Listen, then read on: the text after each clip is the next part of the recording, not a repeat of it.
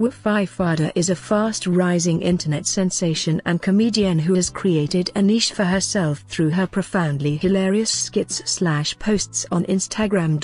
1. Wofai is a Nigerian MC, TV presenter, actress and comedian who was born on May 11 in Cross Rivers State, Nigeria. 2. She studied theatre and media studies at the University of Calabar. 3. Wofai was making skits for fun when she started in 2014 with little knowledge that it would actually take her far. 4. Her first hosting gig was at the Mountain Lovers Ball in 2015.5. Aside from being a comedian, she is also a fast-rising actress, TV presenter with Ebony Life L-rated, event comper and a model. She has worked with comedians such as African Apo 6, Craze Clown and Dem oh My God. 7.